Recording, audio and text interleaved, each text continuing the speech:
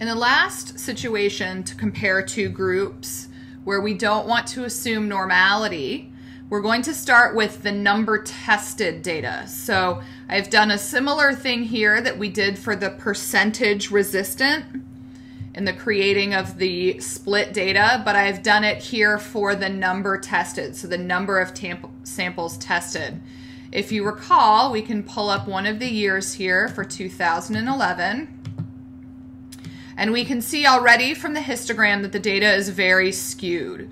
We can see that the mean is 190, the median is 99, the distance from the minimum to the median and the median to the maximum are not the same. Similarly, we're not looking at the same distance for the quantiles. We have a very large standard deviation um, in comparison uh, to our mean. So at the very least, we're looking at something that's very flat. It has a wide standard deviation, but it doesn't look like just from looking at these parts of the information that we have normally distributed data. And if I then look at the normal quantile plot, we can really see here that we don't have normally distributed data the points do not follow along this diagonal line, and the majority of them are outside the confidence bounds. So we would not be safe in assuming that this underlying distribution is normally distributed. Though we could potentially say with the central limit theorem, if we were looking at this overall group with a sample size of 42, that our means could be normally distributed but you may not be comfortable with that, and that's okay. We do still have a relatively small size here of 42. It does meet the central limit theorem, but the evidence against normality is quite obvious. So we don't want to rely on the underlying distribution being normal. Let's go ahead and take a look at the distribution in fit y by x of our east-west regions for number tested. So east-west for number tested. And here is the same figure that we've seen before. I can go ahead and take my x-axis to proportional. I could go ahead and look at my jittered points if I wanted to. Um, what might be nice here in this situation uh, is to go ahead and add in the box plots. And you can see here that they're very squished towards the low end of the distributions, and we have at least three extreme outliers, two in the East group and one in the West group.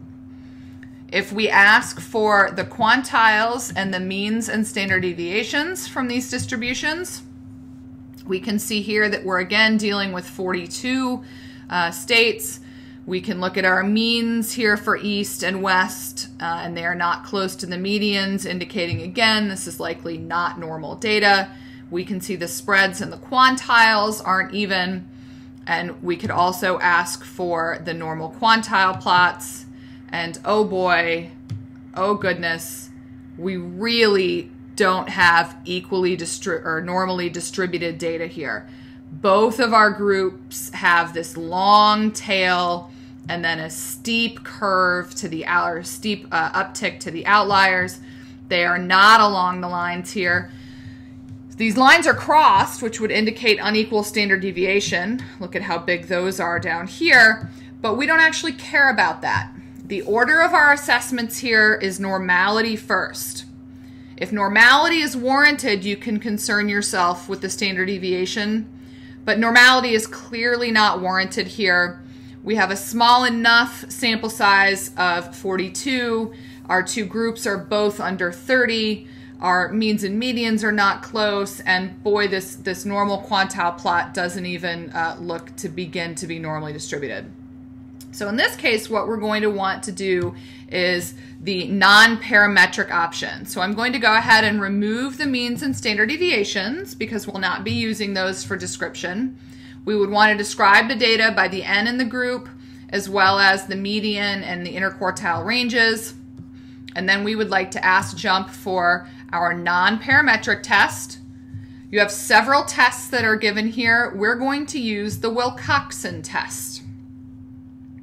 So one way ANOVA using ranks, it's equivalent to what is known as the Mann-Whitney test. When we move into ANOVA with more than true groups, it will be called the Kruskal-Wallis test. They all do the same thing. They were just developed by different statisticians for different purposes. When you only have two groups, it is called the Wilcoxon or sometimes the Wilcoxon Mann Whitney. So go ahead and click on that. And what JMP brings you up is the rank sums for Kruskal Wallis here. You can ignore it. What it will give you that you need are the counts, but these sum scores and expected scores are going to be different for every set of data that you have, for every different sample size.